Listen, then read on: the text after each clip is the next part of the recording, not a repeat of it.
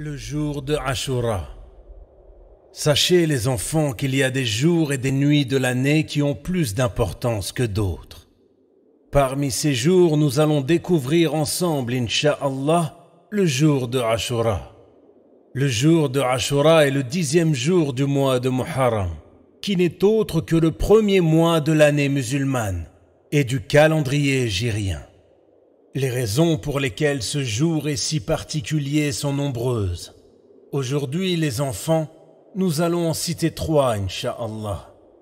Premièrement, il faut savoir qu'avant que le jeûne du mois de Ramadan ne soit obligatoire, notre prophète sallallahu alayhi wa sallam jeûna le jour de Ashura et ordonna aux croyants de le jeûner également.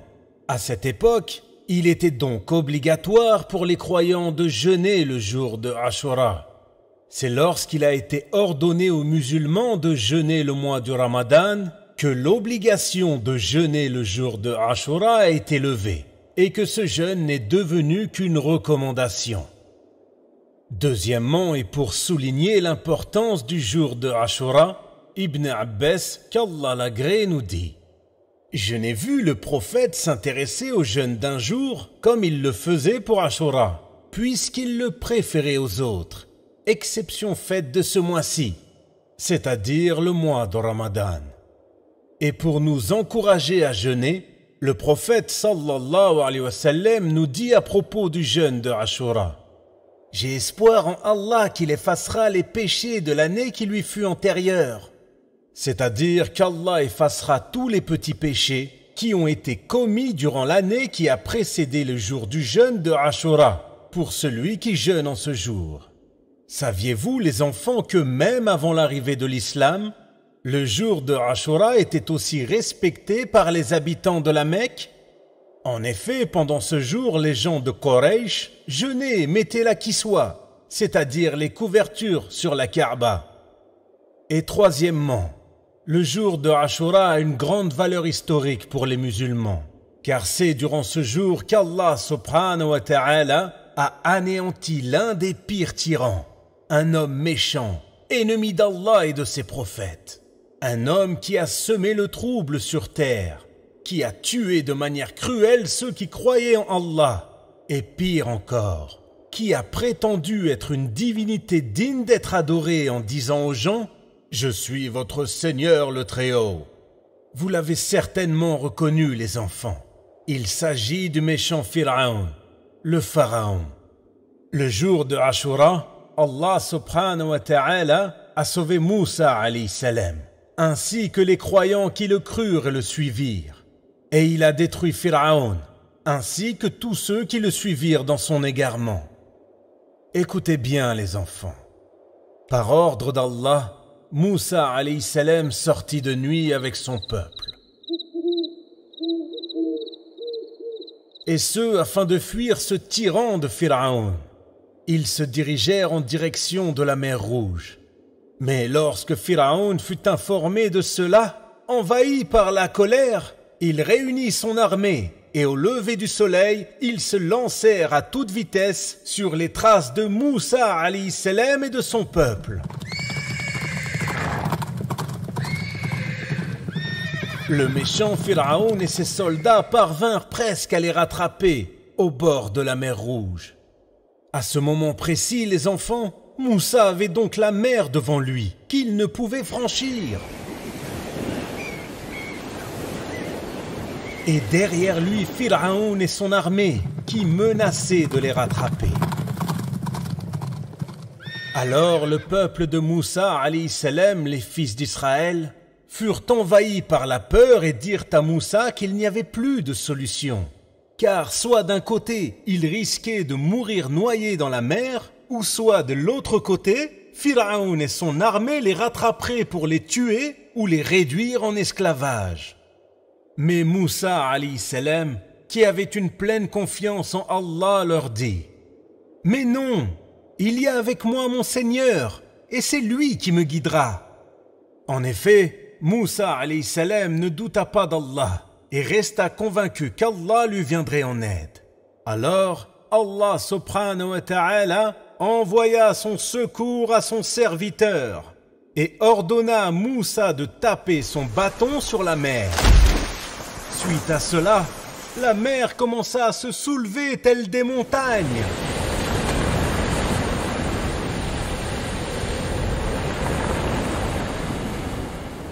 Et Allah subhanahu wa ta'ala fraya douze chemins à travers la mer pour chacune des douze tribus d'Israël. Alors Moussa salam et son peuple, les fils d'Israël, entrèrent par ces douze chemins dans la mer et se mirent à la traverser. En voyant ceci, Pharaon et son armée se mirent à les poursuivre. Mais une fois que Moussa salam et son peuple firent sortir de la mer, et alors que ceux qui les suivaient se trouvaient au milieu de cette mer, Allah subhanahu wa ta'ala les a tous noyés en faisant s'abattre sur eux ces montagnes d'eau.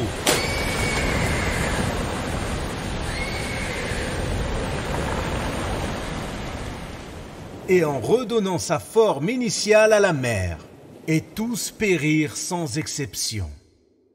C'est ainsi qu'Allah subhanahu wa ta'ala montra une fois de plus sa puissance et le fait qu'il est capable de toutes choses.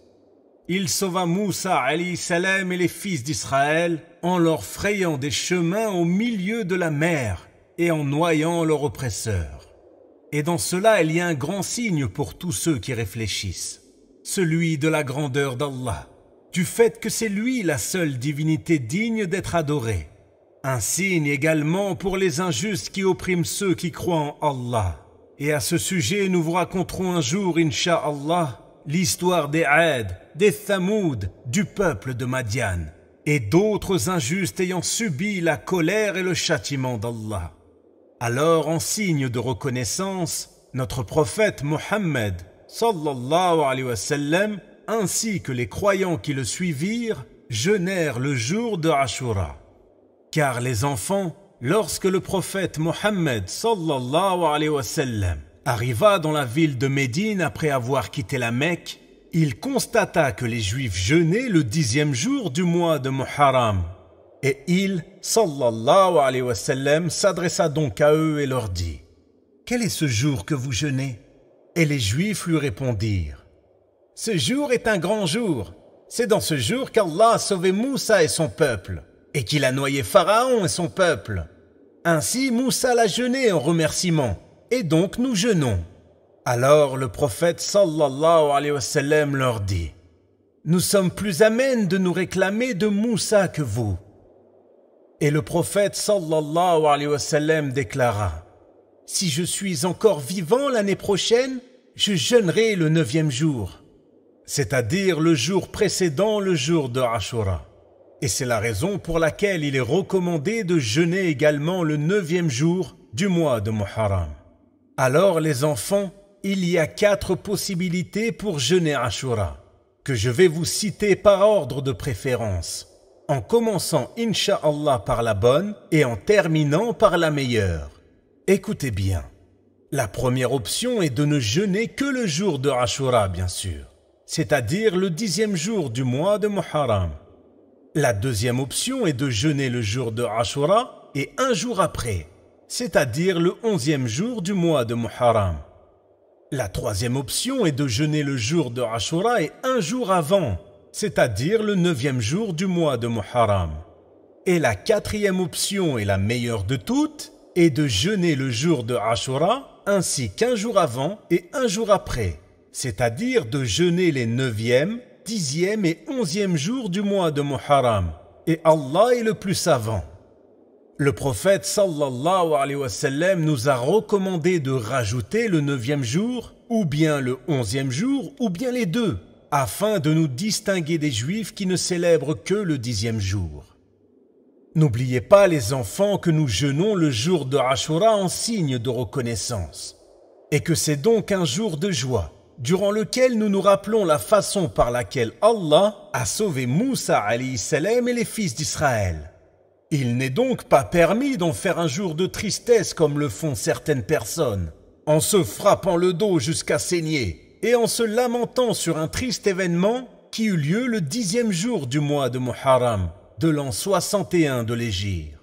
En effet, les enfants, ce jour-là, le petit-fils du prophète sallallahu alayhi wa sallam, El-Hussein, qu'Allah l'agré, fut assassiné. Et quand bien même ce fut un triste événement, ce que font ces personnes n'a rien à voir avec l'islam. Notre religion est celle du juste milieu. Alors rappelons-nous que le jour de Ashura n'est ni un jour de chagrin et ni un jour de fête, Eid. C'est un jour de joie et de reconnaissance durant lequel il est recommandé de jeûner comme nous l'a enseigné notre prophète, sallallahu alayhi wa sallam. Alors les enfants, comme vous l'avez compris, le jour de Ashura fait partie des jours importants de notre religion. Donc, si vous en avez la capacité, essayez de jeûner le jour de Ashura, Inch'Allah. J'espère que cette explication du jour de Ashura vous a plu, les enfants. Et je vous dis à bientôt pour de nouvelles histoires, Inch'Allah. Assalamu alaikum wa rahmatullahi wa barakatuh.